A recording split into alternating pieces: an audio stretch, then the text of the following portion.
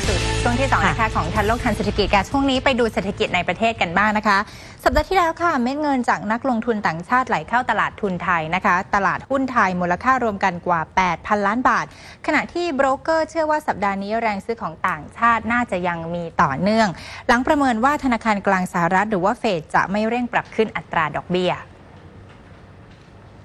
นายพเดิมพบสงเคราะห์กรรมการผู้จัดการบริษัทหลักทรัพย์กสิกรไทยมองว่าแนวโน้มตลาดหุ้นไทยสัปดาห์นี้ยังสดใส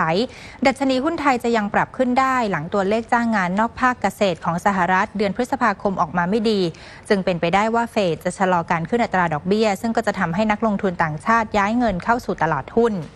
กระทรวงแรงงานสหรัฐรายงานว่าตัวเลขการจ้างงานนอกภาคเกษตรเพิ่มขึ้นเพียง 38,000 ตำแหน่งในเดือนพฤษภาคม ซึ่งเป็นระดับต่ำสุดตั้งแต่กันยายนปี 2553 ขณะที่อัตราการว่างงานลดลง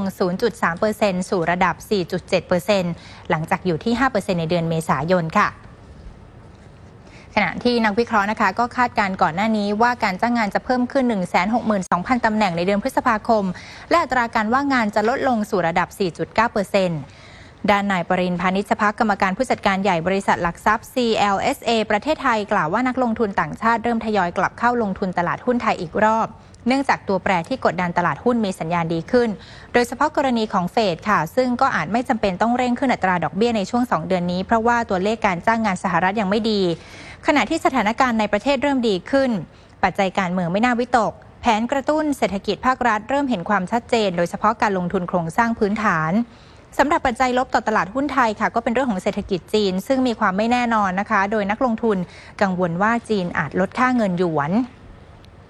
ด้านนายกรภัทร วรเชษฐ์ผู้อำนวยการฝ่ายวิจัยและบริการลงทุนบริษัทหลักทรัพย์นมุระพัฒนสินกล่าวว่าสัปดาห์ที่ผ่านมามีเงินไหลเข้าตลาดหุ้นเกิดใหม่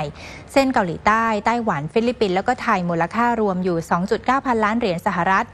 เฉพาะตลาดหุ้นไทยราว 174 ล้านเหรียญสหรัฐ แม้ว่าเม็ดเงินที่กลับเข้ามาลงทุนยังไม่มาก แต่ก็มีสัญญาณที่ดี แล้วก็ไม่ขายออกมามากนะคะ เหมือนที่ผ่านมาทางนี้ค่ะ มองว่าหากแผนกระตุ้นโครงสร้างพื้นฐานในครึ่งปีหลังเริ่มชัดเจน มีการก่อสร้างก็น่าจะเห็นเงินไหลเข้าตลาดหุ้นไทยมากกว่านี้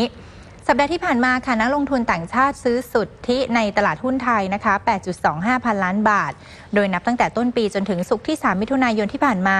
นักลงทุนต่างชาติค่ะซื้อหุ้นไทยแล้ว 2.5 หมื่นล้านบาท ขณะที่ช่วงเวลาเดียวกันดังกล่าวนะคะดัชนีหุ้นไทยปรับขึ้นมาแล้ว 11.52%ค่ะ